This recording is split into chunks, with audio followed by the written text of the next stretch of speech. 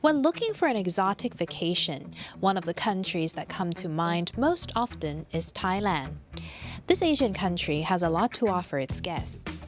Its abundance of magnificent temples with gigantic statues of the Buddha, the natural resources available for everyone to explore, its jaw-dropping beaches, famous cuisine and street food, and its reputation as a shopping haven for bargain lovers, among so many others. But just like any other country, Thailand also has a side that others might consider seedy. Researching or reading about the country, there's a huge chance you might encounter the word "kathoey," which they use to refer to transgenders, better known as ladyboys.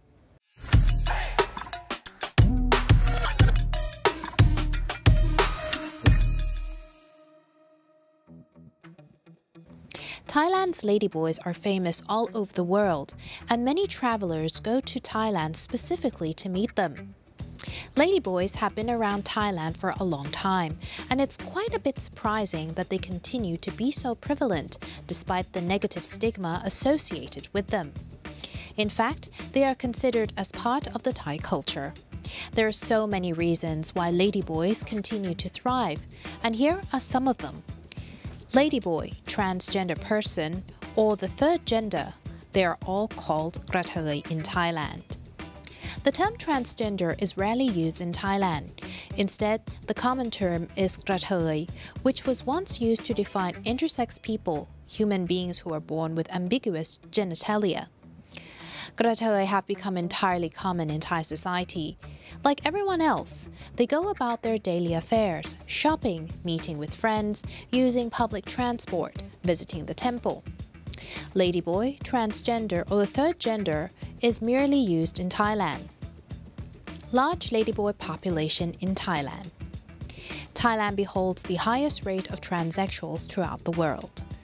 According to Sam Winter, the numbers differ from about 10,000 to unofficial 300,000 substantially, above that estimates the transgender in most other parts of the world.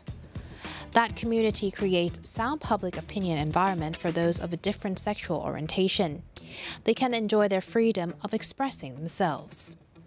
In particular, one was born kathoey because of some sexual misdemeanor in earlier life or lives, or that they failed to fulfill an expected role in the reproductive process, such as a man not caring for a woman who is pregnant by him.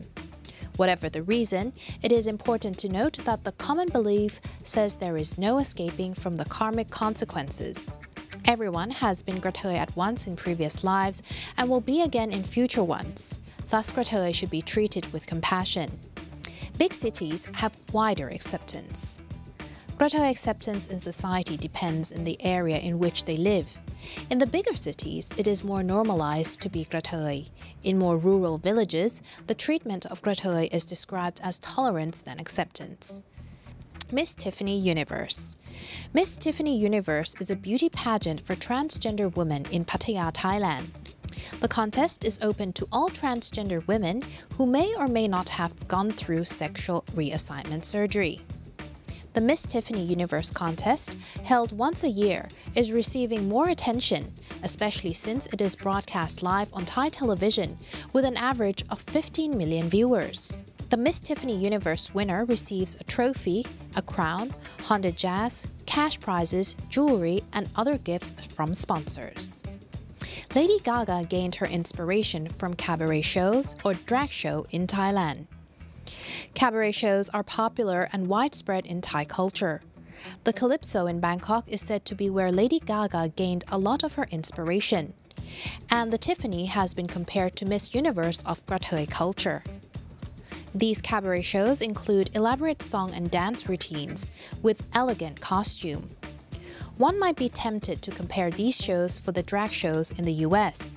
But in these shows, the performers are not just taking on a female persona, many of them identify themselves as women. They work as normal Thai people. The lifestyle of the kathoey varies as well. Mostly though, the kathoey live like other Thai people. They work as hairdressers, filmmakers, sex workers, waitresses, models, and other jobs that you would find any women. They have romantic relationships and are allowed to marry. Kathoey, like other Thai people, are just people. Kathoeys are more visible and more accepted in Thai culture than transsexuals in other countries in the world. Several popular Thai models, singers, and movie stars are Kathoey, and Thai newspaper often print photographs of the winners of female and Kathoey beauty contests side by side. The phenomenon is not restricted to those areas. There are Kathoeys in most villages, and Kathoey beauty contests are commonly held as part of local fairs various feminizing surgeries to choose from. Kathoey have easy access to hormones and surgery. Local chain drugstores can carry as many as 29 hormonal preparations, all available without a doctor's note, over the shop counter.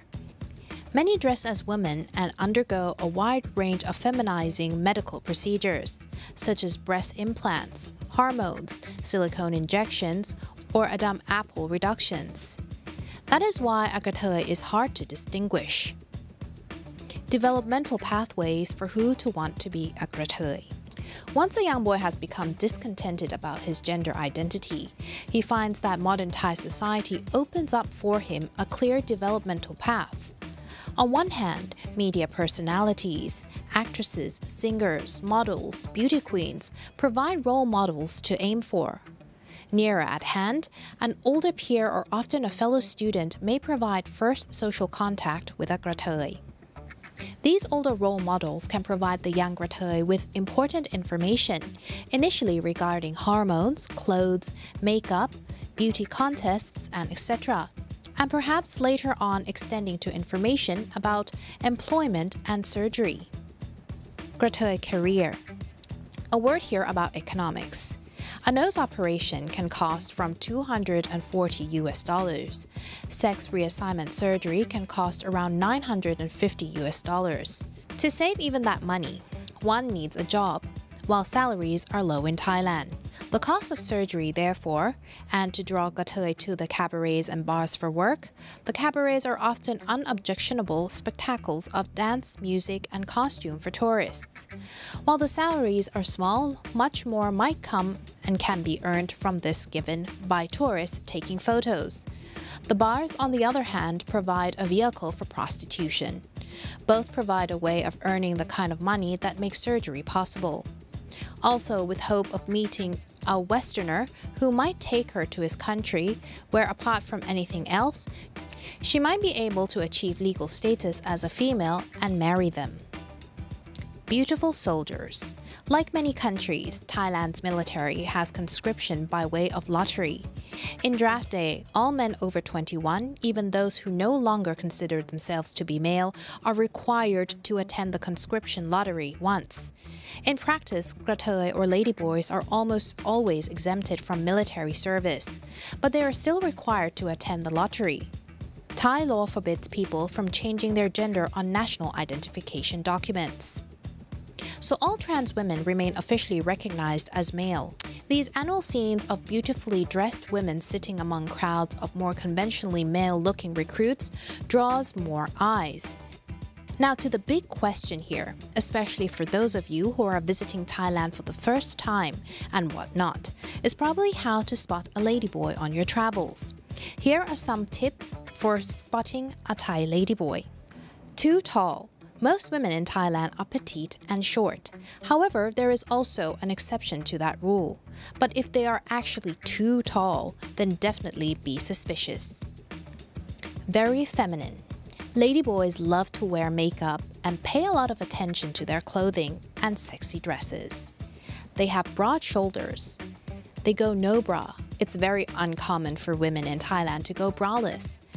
They have an Adam's apple although this can also be operated nowadays, and their unfeminine tone or voice.